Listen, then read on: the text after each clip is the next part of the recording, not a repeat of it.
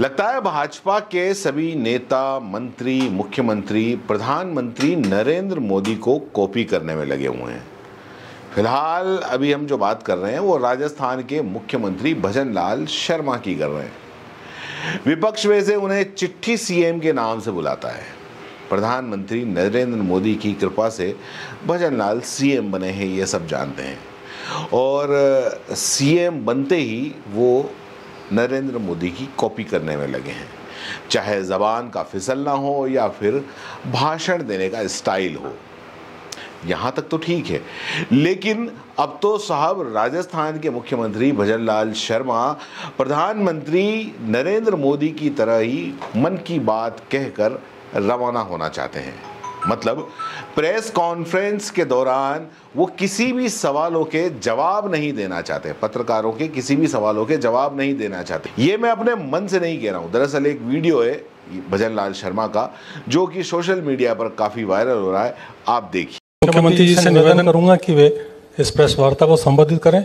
साथ में मैं आपसे एक निवेदन और करूँगा कि आज केवल संकल्प पत्र पर मुख्यमंत्री जी आपसे चर्चा करेंगे। लेकिन प्रश्नोत्तरी नहीं होगी। इनका कार्यक्रम बहुत व्यस्त है। आप निकलेंगे। होगी होगी आप चिंता मत करिए वो भी होगी। आपको पहले कहना ही नहीं था मुख्यमंत्री भजनलाल शर्मा प्रेस वार्ता करने के लिए बैठे हैं और प्रेस वार्ता शुरू होने से पहले ही उनके साथ वाले नेताओं ने सीधा ही पत्रकारों से कह दिया कि मुख्यमंत्री जी सिर्फ़ भाजपा के संकल्प पत्र, यानी कि उनका जो मैनिफेस्टो है, उस पर बात करेंगे। आपके किसी प्रश्न का उत्तर नहीं देंगे, आपका कोई भी सवाल नहीं लेंगे। मतलब वो अपने मन की बात सुनाकर चले जाएँगे। अगर ऐसा था तो मुख्यमंत्री जी, आप सीधा प्रेस विज्ञप्ति जारी कर देते। अखबारों के अंदर छप जाता। वैसे भी भाजपा की खबरें फ्रंट पेज पे वैसे ही छप जाती हैं, आपकी भी छप जाती।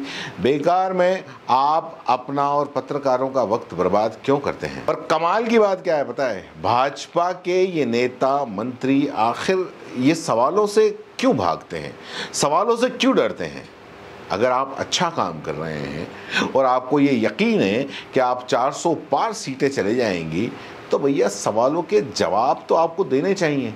प्रधानमंत्री नरेंद्र मोदी ने इन 10 सालों के अंदर कोई भी एक प्रेस कॉन्फ्रेंस तक नहीं की। हाँ उनके जो इंटरव्यू है, वो ज़रूर कुछ विशेष पत्रकारों को दिए जाते हैं, जो कि कंप्लीट स्क्रिप्टेड होते हैं।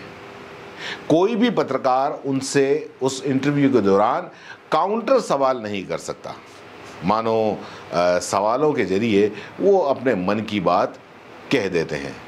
वो लगता है कि दरअसल वो जनता को आ, कहते हैं ना वो सी वाला ऐसा कुछ खैर, अब राजस्थान के मुख्यमंत्री भी कुछ इसी तरह से इसी राह पर चल रहे हैं कि प्रेस वार्ता के लिए अगर उन्हें बुलाया जाएगा पत्रकारों को तो पत्रकारों के मुँह पर ताले लगा दिए जाएँगे और कह दिया जाएगा कि आप सिर्फ़ पोस्टमैन की तरह आओ, जो मुख्यमंत्री जी, जो मंत्री जी कहते हैं, उनको सुनो, बिना सवाल करे चुपचाप चले जाओ। और वैसे भी भाजपा के मंत्रियों को कठिन सवाल के जवाब देते नहीं बनता है। हाँ अगर कोई पत्रकार इसके बावजूद भी अगर हिम्मत करके पूछ ले तो उसकी नौकरी चली जाती है। ऐसे कई उदाहरण हैं। क्यों? सही कह रहा हूँ ना। खैर, आपका क्या कहना है इस मामले में? नीचे कमेंट बॉक्स में ज़रूर बताएँ। धन्यवाद।